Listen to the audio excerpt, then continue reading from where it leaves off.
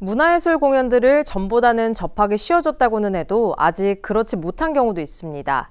거동이 불편한 어르신들이나 장애인들은 관람 기회가 많지 않고 공원이나 야외 공연장 등 일상 속에서도 수준 높은 공연을 무료로 만나기란 쉽지 않은데요.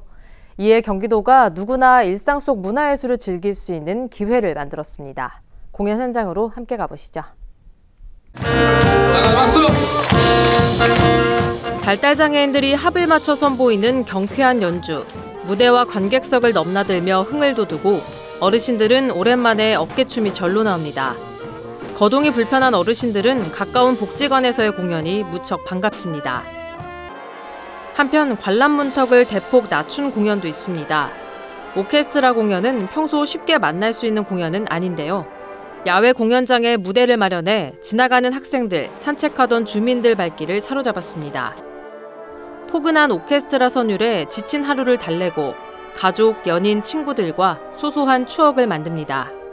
학교 축제 끝나고 친구들이랑 야외 음악당 왔는데 노래 소리가 들려서 보게 되었어요. 본 적이 별로 없는데 오늘 보게 되어서 좋은 것 같아요. 이는 모두 경기도가 도내 문화예술인들을 지원해 함께 마련한 공연들입니다. 문화 취약계층을 위한 공연, 복지관, 야외 공연장을 활용한 공연 등 문화예술 관람 기회를 넓혔습니다. 이러한 지원은 문화예술인들에게도 큰 도움이 됩니다. 공연 기회도 생기고 특히 예술인들은 경제적인 면에서도 어려움이 큰 편인데 경기도의 지원으로 두 마리 토끼를 모두 잡은 셈입니다.